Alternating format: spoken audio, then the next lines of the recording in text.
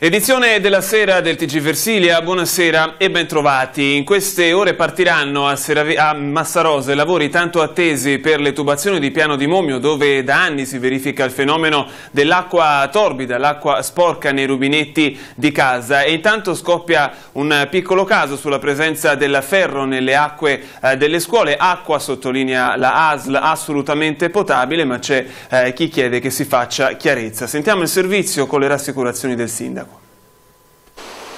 La legge di riferimento impone che l'acqua fornita dal gestore destinata al consumo umano sia salubre e pulita. La normativa italiana, che recepisce le direttive europee di settore, prevede anche che l'acqua distribuita tramite un pubblico acquedotto sia sottoposta a controlli adeguati che ne garantiscano la conformità ai valori di parametro.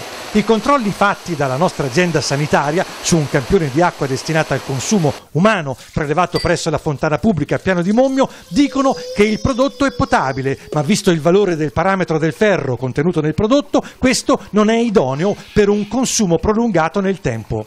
Per garantire la salubrità dell'acqua nella frazione di Piano di Mommio, nel comune di Massarosa, l'amministrazione cittadina fa sapere che domani, mercoledì, Gaia inizierà i lavori necessari ad approntare adeguate opere di manutenzione straordinaria sull'intera rete idrica nei pressi della scuola dell'infanzia primaria di Piano di Mommio. Piano Mummi è la zona del comune di Massarosa dove ha la peggior qualità dell'acqua perché si trova proprio nella fase finale delle tubazioni. L'acquedotto è alimentato completamente dalla zona di Chiesa, quindi proprio è la zona più periferica. Farà quella procedura di pulizia delle tubazioni, dove utilizza ghiaccio e sale per poter asportare tutti quelli che sono gli elementi incrostati sulle tubazioni per renderle pulite e in altre zone poi farà un intervento di sostituzione perché quella tecnica non può essere usata.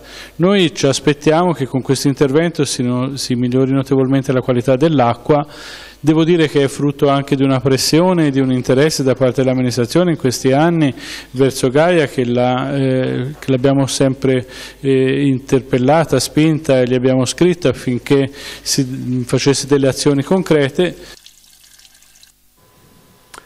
E sul caso della presenza eccessiva di ferro nelle acque delle scuole, ma in particolare soltanto in un eh, rubinetto rilevato dalla ASL, è il consigliere comunale di opposizione Alberto Coluccini ad aver presentato una mozione in Consiglio Comunale per eh, chiedere di sospendere immediatamente la somministrazione di acqua in brocca alla scuola di Piano di Momio, almeno fino a che, eh, scrive nella mozione il consigliere di minoranza, fino a che il Comune non abbia ottemperato e fatto i lavori richiesti dall'ASL e non ci sia la certezza che gli sforamenti del parametro del ferro non si ripresentino eh, ciclicamente. Questa è la posizione di Alberto Coluccini. Torniamo adesso alla pagina politica con eh, le reazioni il giorno dopo le amministrative a Seravezza, la vittoria di Riccardo Tarabella, candidato del centro-sinistra, è il momento di riflessione in casa centrodestra, secondo Massimo Mallegni, coordinatore eh, vice regionale di Forza Italia, i candidati della lista di Andrea Giorgi avrebbero danneggiato il candidato eh, di area centrodestra, ovvero Riccardo Cavirani. Sentiamo la lista eh, del candidato Giorgi che sicuramente lui come figura è, appartiene all'area di centro-sinistra ma la sua lista non è certamente una lista di centro-sinistra, anzi i rappresentanti più importanti, coloro i quali hanno preso voti più significativi non sono certo di quell'area politica o quantomeno non appartengono a quei partiti che in quell'area politica oggi fanno la parte del leone, eh, questo sia chiaro.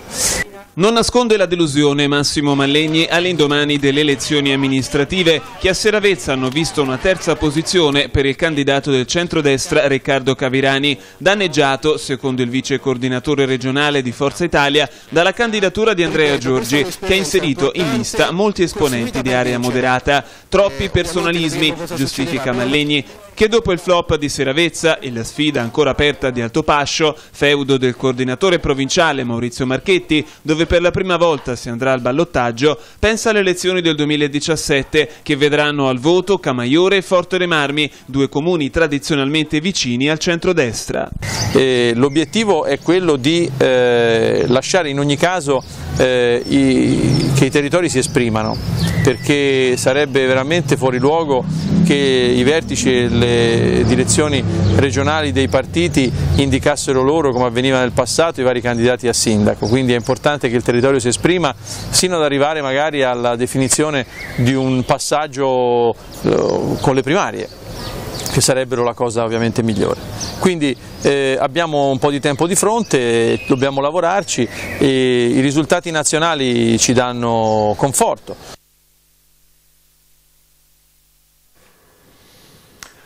E rimaniamo proprio a Pietrasanta per eh, la cronaca. Passeggiano sul pontile di Tonfano a bordo delle proprie automobili. Multati i conducenti. È successo lo scorso 2 giugno, poco prima delle 16. Le due auto di grossa cilindrata, come vedete in questa foto, hanno imboccato il pontile hanno percorso a pasto d'uomo con le quattro frecce tutto il, tradicio, il del tragitto fino al rondò finale. Increduli i pedoni che si sono visti passare a fianco le due auto. I due trasgressori, entrambi non residenti in provincia, provincia sono stati immortalati dalle telecamere posizionate sul pontile per vigilare sulla sicurezza. A nulla sono valsi tentativi di spiegazione da parte dei due conducenti che sono stati raggiunti dagli agenti della municipale. Una passeggiata che costerà cara, pensate, ben 333 euro di multa.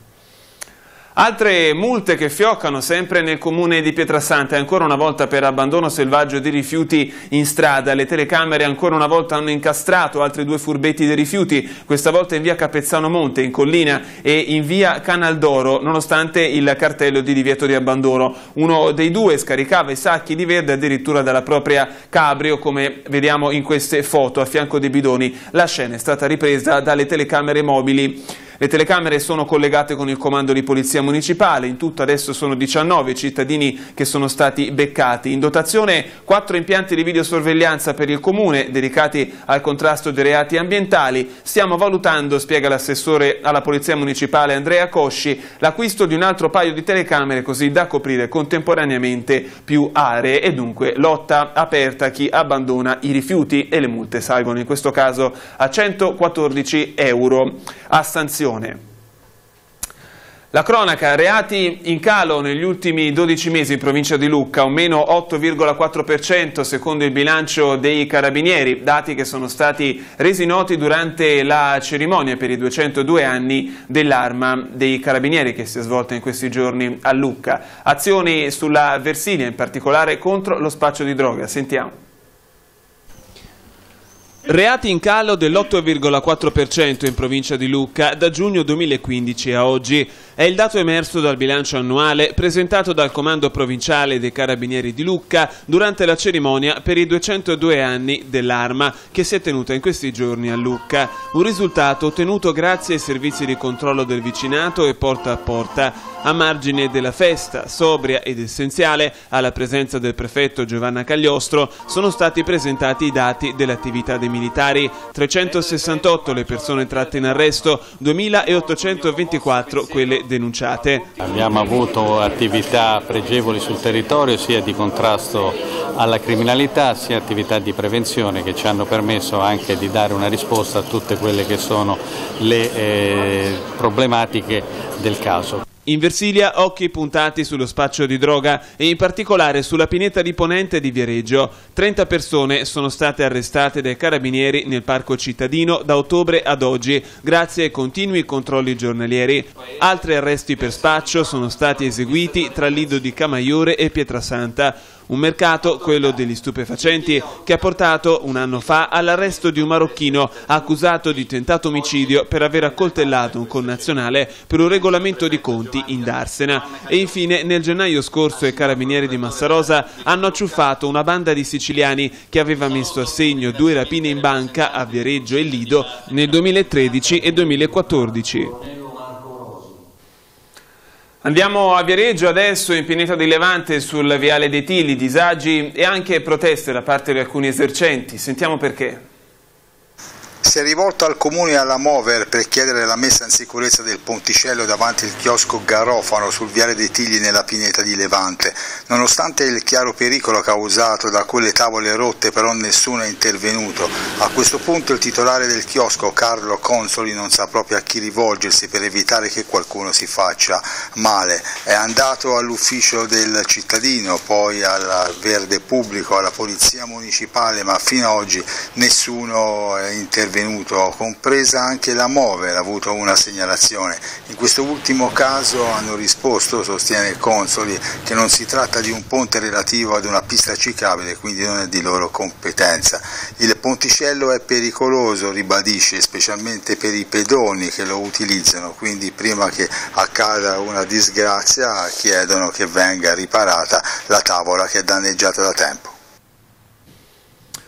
E in tema di decoro ci spostiamo a Pietrasanta, terminati in questi giorni gli interventi in economia coordinati dall'amministrazione comunale e dall'assessorato ai lavori pubblici nell'area verde adibita skate park alle porte del centro storico. La manutenzione è stata eseguita dalle maestranze comunali. Gli interventi sono spaziati dalla ritinteggiatura delle panchine al taglio dell'erba, dal posizionamento di ghiaino stabilizzato al rifacimento dello sgambatoio sul lato mare dello skate park fino alla recinzione che corre lungo il percorso che passa sopra il sottopasso della ferrovia. Installata finalmente anche la porzione di guardrail di via Avis, donatore di sangue, via Marconi, che era stato danneggiato in seguito ad un incidente stradale.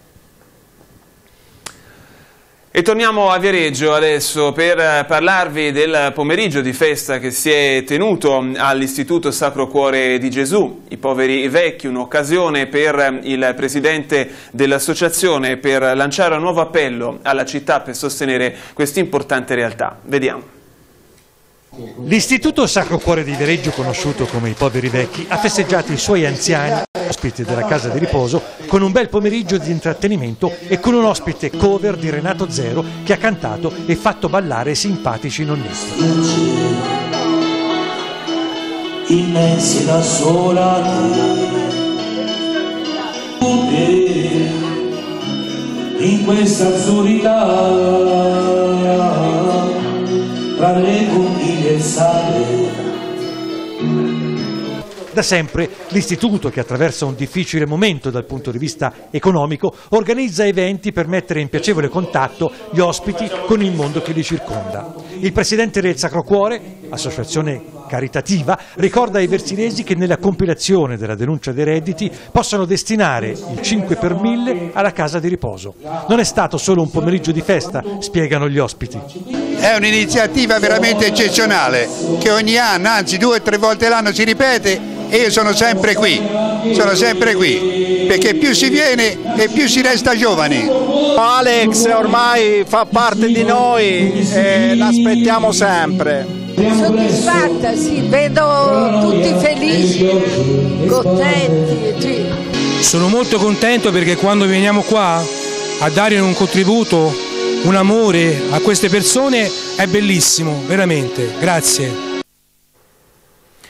Parliamo adesso delle concessioni per gli stabilimenti balneari. La Giunta Toscana ha approvato oggi il regolamento attuativo della legge regionale sulle concessioni demaniali, approvata la legge lo scorso 3 maggio. Ha, lo ha annunciato l'assessore alle attività produttive Stefano Ciuoffo. Il testo è stato spiegato, è stato definito d'intesa con le associazioni dei balneari e ANCI. La norma vuol far fronte al protarsi dei tempi del pronunciamento della Corte di Giustizia europea sulla deroga alle concessioni demaniali marittime ed è in corso proprio eh, in eh, queste ore il programma al Lido di Camaiore un incontro importante fra tutti i balneari della Versilia per discutere e trovare una linea comune non soltanto sulla questione della direttiva Bolkestein e della legge regionale ma anche eh, sul controverso tema della balneabilità delle acque alla luce dei due divieti di balneazione che sono scattati nel mese di maggio. I balneari versiliesi cercheranno di trovare la sintesi sintesi delle varie anime che sono all'interno del fronte.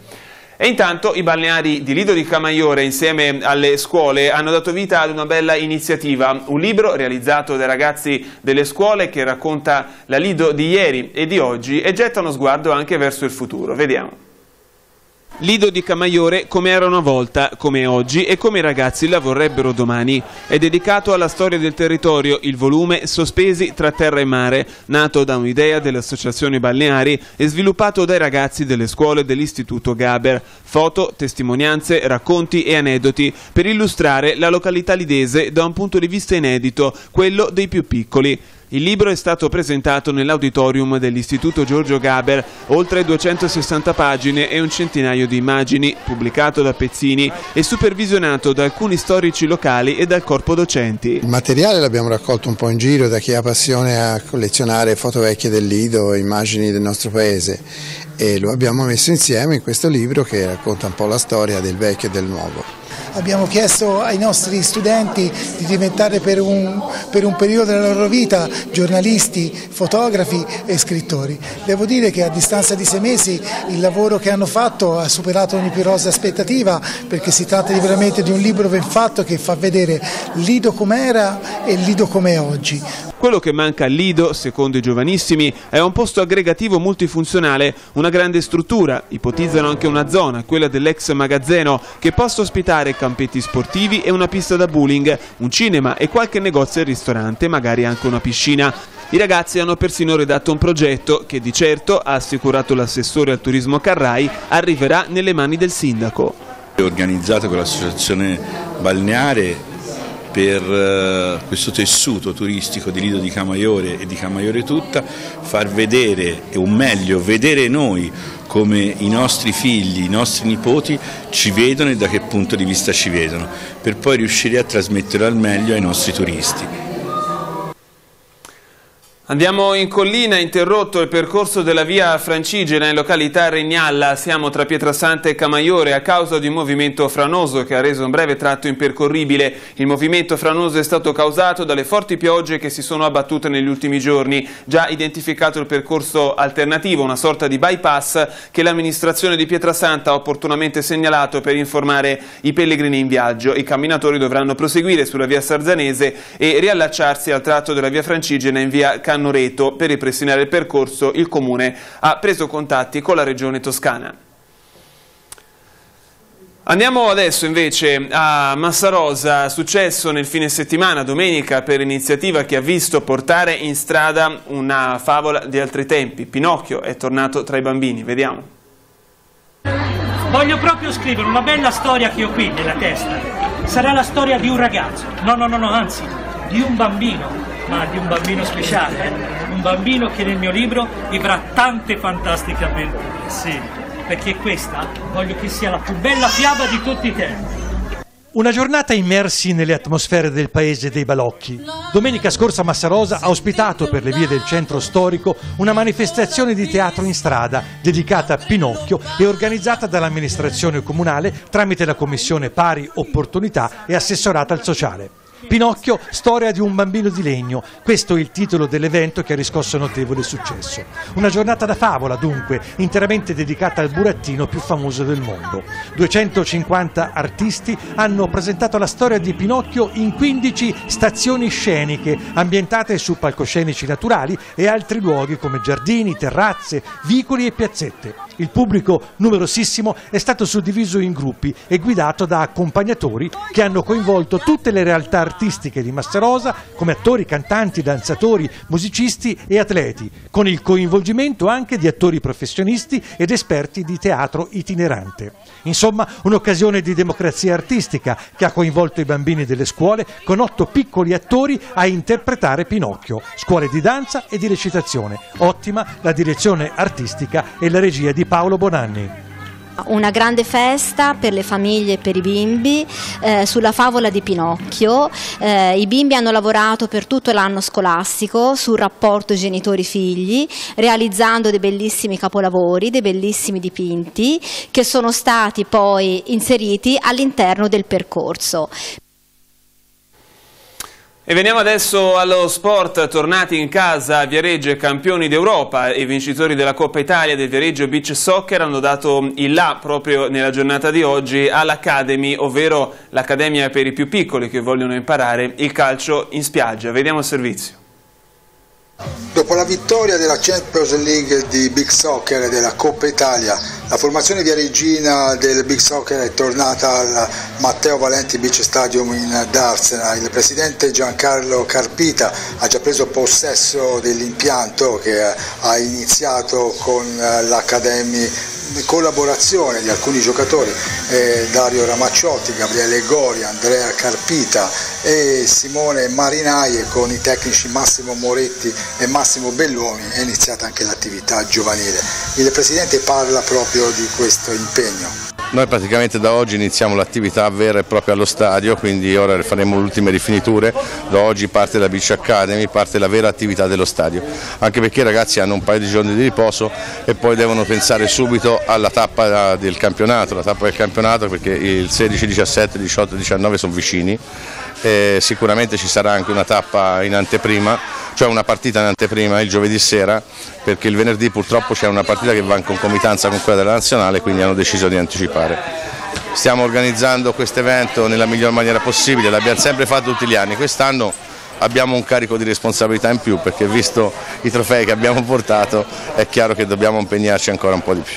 Dario Ramacciotti, uno dei protagonisti di questi successi, eh, anche lui eh, collabora, come detto, per portare avanti e far crescere questi ragazzini che possono, chissà, un domani sostituire loro in prima squadra. Eh, racconto un aneddoto, ero praticamente messo nella parte alta della tribuna, ogni gol che si faceva scendevo le scalinate a tutto fuoco e a un certo punto mi è toccato smettere e mettermi in prima fila perché altrimenti rischiavo di cadere, ho rischiato un paio di volte, per fortuna abbiamo il bomber che ha fatto 4-5 gol incredibili e, e, ci ha fatto vincere questa coppa insieme agli altri nostri compa miei compagni.